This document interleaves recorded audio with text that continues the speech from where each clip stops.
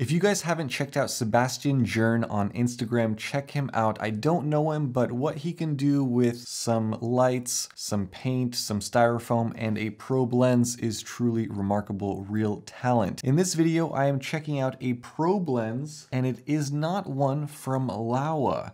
In fact, this is the brand new Astrhori 28mm f 13 2 to 1 macro probe lens. It solves the single greatest problem with that Laowa and that was the price how does 50% off sound? Because that is the price of this thing in comparison to the Laowa. So in this video, I'm gonna check out if this lens is worth the $700 price tag. This Astrhori comes in a nice plastic and metal case with cutouts for every little piece of the kit. And it's good that this case is included as this is a specialty lens that most creators won't take out except for some unique rare shots. So I suspect it will sit in the case for much of its life. In here, there are some extra rubber covers for the probe barrel, a couple of microfiber pouches for both pieces of the lens, a USB power cable for controlling the LED light on the tip of the lens, and then you get to the lens itself. It consists of this long 13 inch barrel and the lens mount portion which has two gear rings on it. You put it together by locking the barrel in place and rotating the lock until tight. And there it is.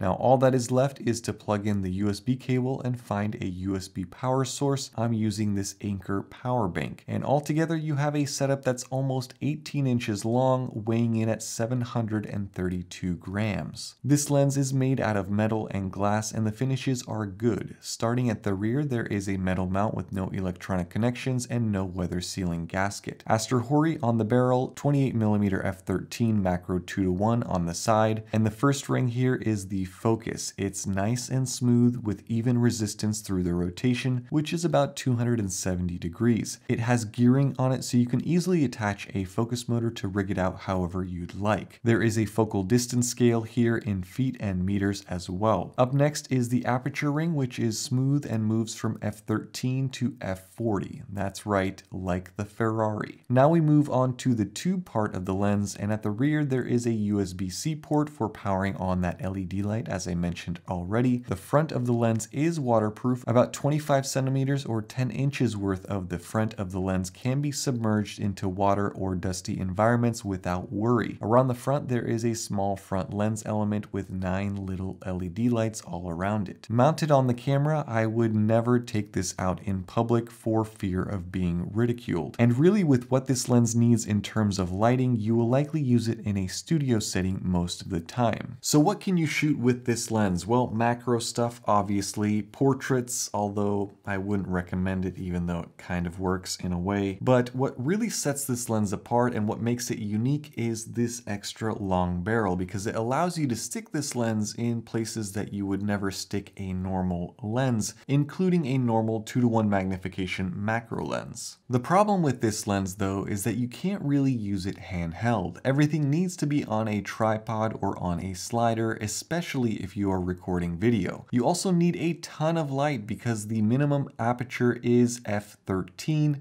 which means this lens isn't letting in a lot of light. So you have to flood your scene with light. So you can see where I'm going with all of this because when you buy this lens, you can't expect to just be able to go out and use it without anything else. You really need a tripod, a slider, a ton of lighting, and to be able to set up a shot and invest the time and the resources and the energy, it's a bit of work. Now I don't have a slider, so I had to go and borrow this massive dolly from a friend of mine and I tried to do some shots with this probe lens on this dolly, but I am no Sebastian Jern when it comes to using a probe lens. So let's talk about this lens's performance. It's a macro, so it's hard to mess up optically. It's all manual, so no technical problems can get in the way either, and it's an f13 lens, so it should be sharp as long as you have enough light. And it is. It performs well, images are detailed and sharp as long as there is adequate light, and as long as you are on a tripod or on a slider. This lens covers an APS-C and a full frame sensor, so I used both for my samples. The light on the front is bright, but not always bright enough, and you can't rely on it exclusively. I often found myself wanting to add additional fill light around where I was recording. The focus ring is a breeze to use. It's very easy to fine tune focus. It's not as wide as the 24 millimeter Laowa probe, but from the results, performance looks to be about as good. I've never tested the Laowa though, so I can't confirm that. What I can confirm though is that this lens is $739 versus 1,600 for the Laowa. But Laowa hasn't just been sitting around on this probe design for three years. They have been innovating and recently came out with the Laowa 24mm peri probe, which adds a 90 degree periscope to the end of the lens, allowing for some crazy sideways action and the ability to capture even more impossible shots. That lens is $2,300. Anyway, let's get back to this lens. I think it's a good one and it's nice to see a new competitor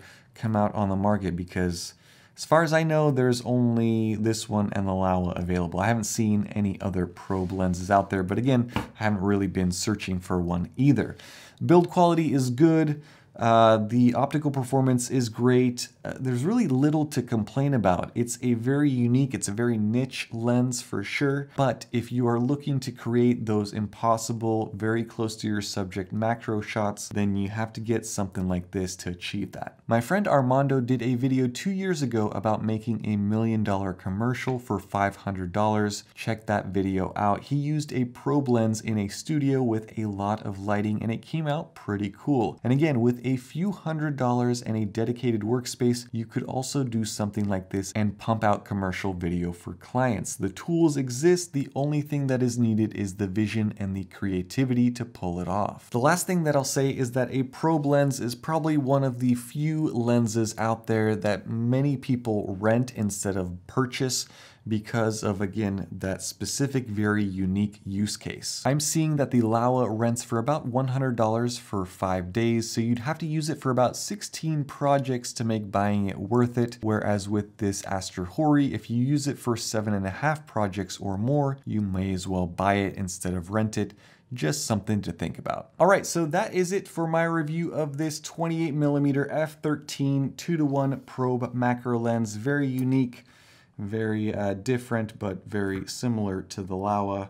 And I think it's a cool product if you're trying to get a unique perspective, that ultra wide macro look that uh, seems impossible, but is with tools such as this one. So uh, leave some comments down below as far as what your thoughts are on this lens. Uh, I'll leave some links down in the description, so check those out and stay tuned for more. Thank you guys so much for watching. Have a great day. Bye-bye.